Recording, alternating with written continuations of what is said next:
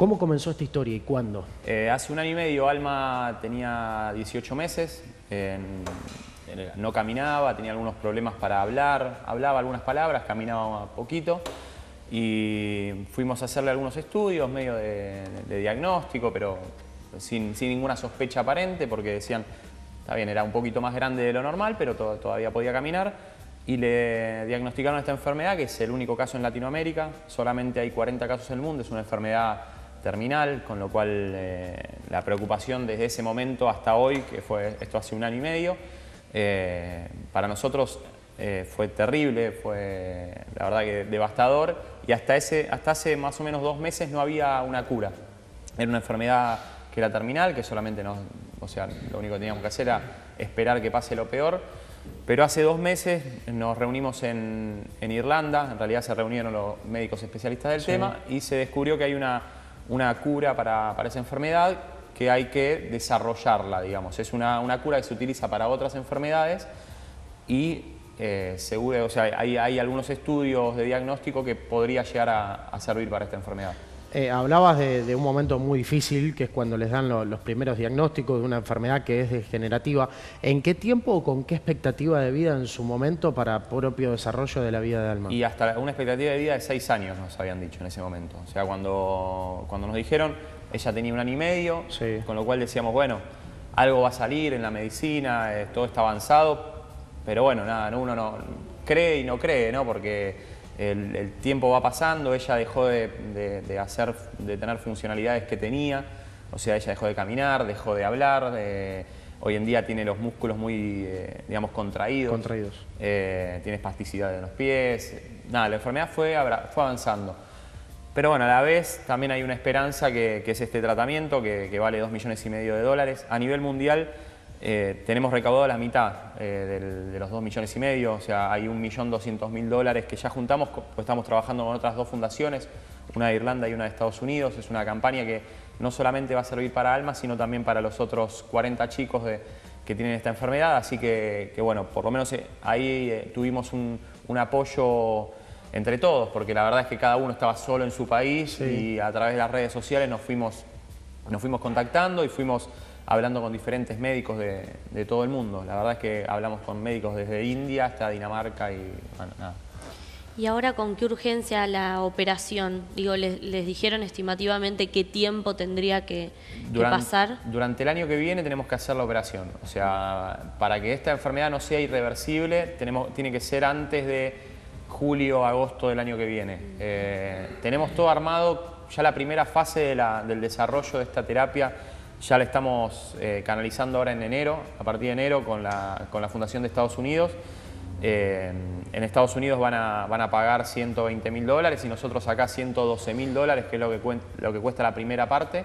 La segunda parte cuesta ¿De, ¿De qué consta esa primera etapa? Es la prueba en ratones, que son ratones más, digamos, ratones que tienen la enfermedad, están creados. O sea, tuvimos que mandar a crear los ratones que son similares a los chicos. Es una especie de ratones que es creada eh, especialmente para, esta investigación. Se le hace la prueba a los ratones, automáticamente, si sale bien la prueba, se le hace la prueba a un animal más grande, que puede ser un chancho o un perro, y después la prueba a los chicos. Esto puede tardar entre más o menos entre 6 y 9 meses el desarrollo de las tres etapas. Eh, y, en esas etapas, eh, Alma, eh, obviamente que es una de, las chicas que, lo necesita y es tu hija, ¿ella va a ser la primera sometida? Va a estar en, la primera, en la primera etapa, o sea, hay cinco chicos en digamos, distribuidos por el mundo que van a estar en condiciones de, de tener ese tratamiento. Hay otros chicos de los 40 que por ahí ya llegan tarde para el tratamiento porque la enfermedad después de los 4 o 5 años es irreversible.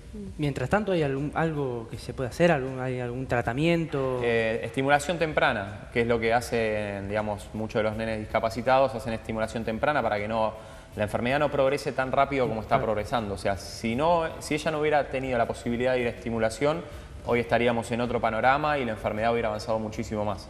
Sebastián, ¿cómo, ¿cómo se da el primer puntapié en la Argentina? De, aquel diagnóstico que era irreversible y que era fatal a este, porque digo, en un momento de, conmoción y de parálisis como les debe haber tocado pasar, pero también donde muchos se van acercando y te dicen, tienen que ver esto, tienen que ir por este lado, tienen que ir por allá, ¿cómo empezaron a desarrollar ese camino hacia el puntapié para llegar a este tipo de asistencia o a esta convención que se dio en Irlanda? Mira, eh, te cuento una anécdota rápida que cuando a Alma le diagnostican la enfermedad, nos dicen tiene déficit de múltiple sulfatasa. Lo primero que haces es Google, déficit, apenas salimos del, lugar, porque nos dijeron sí, es una enfermedad. Pero bueno, uno no cree y, investiga. Y los resultados, nada más que 13 resultados tenía, tenía el Google, cuando uno espera millones de resultados, ¿no? Y, en español solamente 13. Empezamos a investigar en español, en inglés, en portugués, diferentes digamos, traducciones de la enfermedad y ahí nos pusimos en contacto con una fundación en Irlanda que ya estaba trabajando en el tema.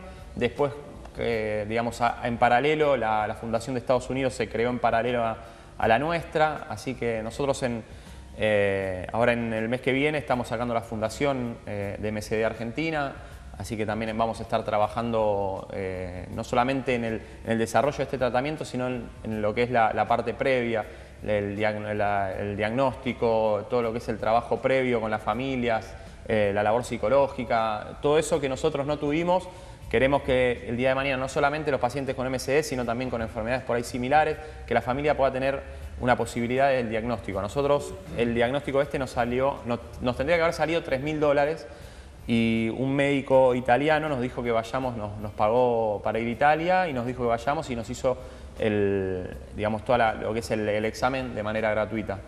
Así que en ese sentido tuvimos esa suerte que creemos que todos los nenes la, tendrían que tener, eh, que no es una suerte, sino es un derecho y, acá en Argentina lamentablemente no se hace, con lo cual hay que mandar a hacer los estudios afuera.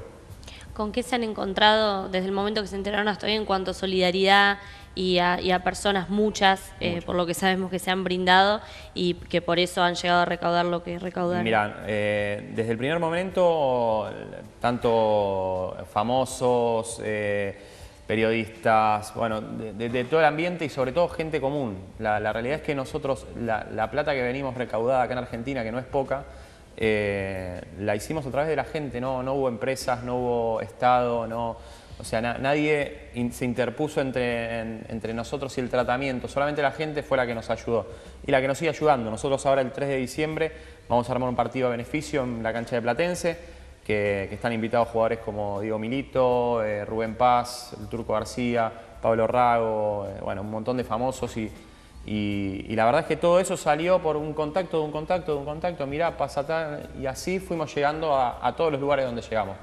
Eh, en Facebook y en Twitter estamos en, Una Cura para Alma, eh, ya con un montón de seguidores que todos los días participan. Ayer hubo un zumbatón que estuvo Ayelén Paleo, Sebastián Franchini, Natalia Dichelo. Nada, eh, la verdad que la, gente es muy solidaria con este tipo de causas. Ojalá no la, estuviéramos necesitando y ojalá yo no estuviera acá, pero la verdad es que, el, desarrollo de toda la campaña fue, fue la verdad que nos superó nuestras expectativas y lo que, lo que iba a ser en un principio. Eh, ¿Existe la posibilidad, no sé si estás al tanto de eso, que en el corto o en el mediano plazo en la Argentina puedan empezar a trabajarse este tipo de, trastornos? Nosotros estamos trabajando con el jefe del Hospital Austral, el jefe de neurología del Hospital Austral, es un médico muy reconocido a nivel mundial, se llama Hernana Martino y, él está trabajando en terapia génica, que es la, digamos, lo, que sería el tratamiento para la, la enfermedad de alma, está trabajando la terapia génica para otras enfermedades. Así que seguramente lo que pasa es que el, insumo es muy caro para hacer la terapia génica. Y si no está aprobado por la FDA, que es la Federación de Drogas de Estados Unidos, no, digamos, ni el Estado ni las obras sociales lo cubre.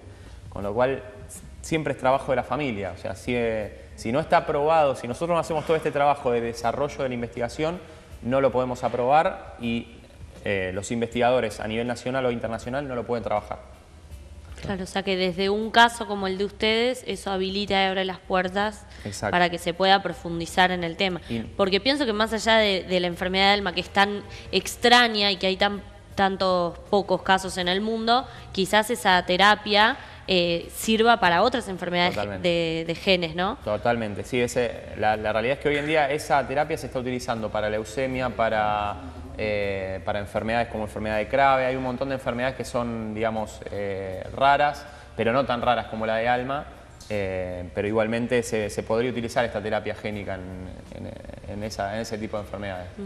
Dos millones y medio de dólares es lo que necesitan recaudar. Hablabas de que el 50% ya está cubierto en dos etapas. La ayuda que llega desde los comunes y de los propios en la Argentina, pero también de una ayuda del exterior. De ayuda del exterior sí, que son también comunes. O sea, toda la, no, hay, no hay financiación privada de empresas ni, de, ni estatal para esta investigación son comunes de acá, de Irlanda, de Estados Unidos, de Alemania, de otros países, pero todo a nivel personas, personas comunes que, nos están ayudando y, bueno, esperemos que nos puedan seguir ayudando. Eh, ¿Han buscado en tal caso la ayuda del propio Estado, de, los gobiernos? Eh, por todos lados, por todos los ministerios, toda la, digamos, por, lo que es gobernación y demás, pero no, la verdad es que no hemos recibido nada. Bien, bueno, esperemos que, estén en tiempo y en forma como deben en este caso, que no solo les va a facilitar eh, el bienestar de, tu hija en este caso, sino que va a abrir la puerta a otros tantos que necesitan y sobre todo que en la Argentina se, termine desarrollando para, investigarlo.